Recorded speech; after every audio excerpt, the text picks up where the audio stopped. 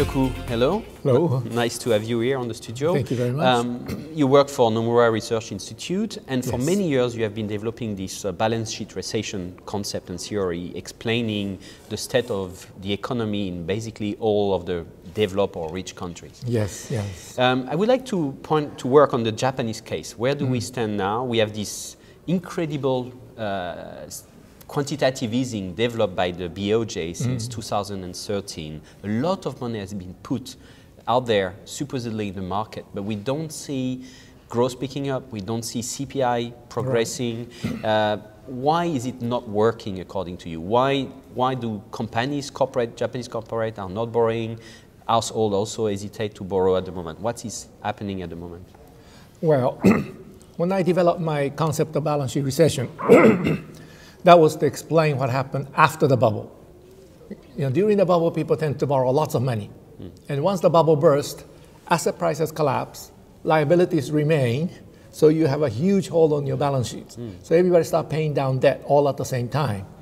When you are in this situation, no matter how much central bank does in terms of lowering interest rates, adding reserves, nothing happens because these people cannot borrow money. They're technically bankrupt, so hmm. banks cannot lend them money. And for them to actually grow, they have to remove this debt overhang as fast as possible.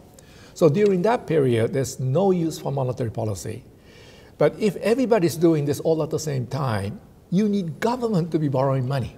Because in the national economy, if someone is saving money or paying down debt, you have to have someone on the other side borrowing and spending money to keep the economy going.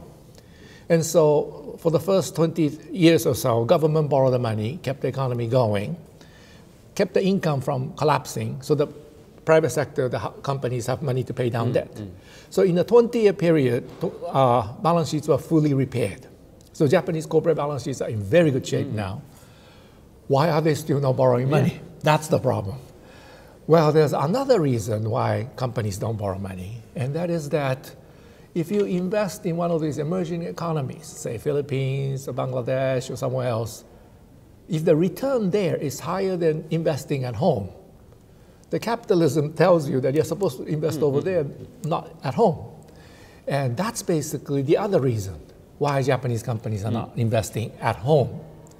If you go to Southeast Asia, you see Japanese factories everywhere. But the ones at home are not growing because the ones over outside is making more money. And so in a situation like this, household sector is still saving money. Japanese love to save money. Well, French also, I understand. Because we worried about our own future. So mm. household sector is saving money, but the corporate sector that used to borrow that money Yeah. are no longer doing it. And so we have a huge challenge in all the developed world as to what do you do with this household savings. And I think government has to play a bigger role because monetary policy is not going to be very useful.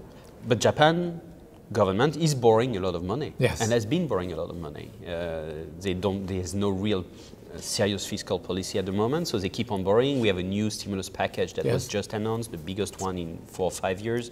It's going to be paid or uh, expanded through 2020, maybe a bit of 2021. Is it useful money, or are we talking about new roads uh, going nowhere, or do you think they can turn this huge amount of money into something positive that would create long-term real growth? Well, when Japan fell into what I call balance sheet recession 30 years ago, no one understood this disease. There was not even a name for this kind of recession. So people thought, well, if, it's, if the government puts a lot of money quickly, then you have a pump mm. priming economy, mm, mm. and then the economy will do okay. Well, every time they put the fiscal stimulus, of course, the economy responded. But once they removed the fiscal stimulus, they collapsed again. Yeah. Because asset prices in this country fell 87%, commercial real estate prices. If you have 87% decline in your assets, one or two years of repair, uh, paying down debt is not enough. It may take five, ten years. If we knew that at the beginning, I'm sure we would have picked better projects for long-term future mm, mm. because we're going to have to be doing this for 10 years. But at that time, no one knew. Oh, one or two years, bang, and the economy should be back on the mm, growth track. And the same thing was said in the United States also. when the Lehman crisis happened, people like Larry Summers says, oh, one big jolt is enough. Yeah. But then he realized that one big jolt is not enough. He has to have a sustained fiscal stimulus. So Japan made that mistake. So this time, I think people are becoming a lot more careful because now this is for the long term. Mm-hmm. So we have to pick our projects more carefully. And I hope that is true with the package that is coming out. But still, we don't have an institution to pick good projects. We need independent, independent institution, not the BOJ and not the government. We have right. no immediate politics exactly. answer to give. Yeah. Just like we needed independent central bank before, mm. now we need an independent fiscal commission to make sure that the projects are good projects mm. because this is for the long term. Mm. And we don't have that institution yet. And so I'm afraid in the latest package, some of the things in there could be know, roads going nowhere. Maybe. you don't talk so much about the demographics of Japan because in France, the difference that we don't have in this balance sheet recession, we still make babies mm. and we still have every year more and more consumers and we have immigrants. For me, it seems that Japan has this huge issue of losing 800,000 consumers a year. So in the corporate every company will tell you, I don't want to invest on the long term in Japan because I don't see where I'm going to sell my products mm, or mm, who is going to work in my factories. It's, it's on top of the balance sheet recession or is it part of it? Well, uh, demographics works very, very gradually, very, very slowly. Balance sheet recession happens on one day. Mm.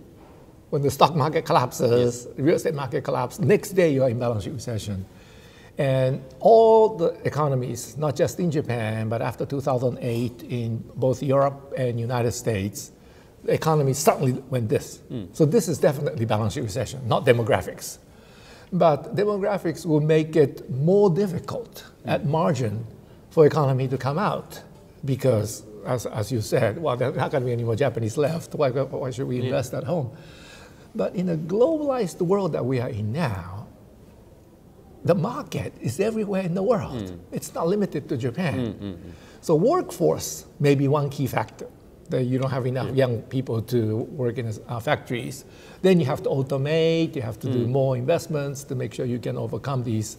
Uh, but if that, if that means more investment, so much, the, so much the better for the economy. Uh, so demographics at margin, I'm sure, have some impact. But to explain what we are going through in Europe and United States and Japan, strictly on demographics, I think it's not the way to go. If you were to be part of this uh, independent committee, we would select few key projects where we put public money for long-term growth prospects. Where would you invest? Where would you consider investing in? Where would you tell the government to invest at the moment? Well, uh, I really don't want to get into the debate because then it becomes very political, but everywhere where you see consistent congestion, mm. for example, this, this road from Tokyo to Osaka, the, the Tomei mm. Highway, mm. on the weekends, you know, it's, it's really bad. So we can okay. must be able to do something to, to resolve that so that more people can travel and enjoy the country. Uh, the connection between two airports still very poor. Mm. Then we can do something about okay. those areas. So, and upgrading the level of English speakers in this country, yeah. when so many foreign tourists are now coming to Japan, that may produce a return higher than the government, Japanese government bond rate. The Japanese government bond rate before BOJ did this crazy thing was yielding 0.7%. Mm. If, for example, a very well targeted program to improve foreign language capabilities mm. of Japanese people produced the social rate of return higher than 0.7%, then we should just do it. Mm-hmm.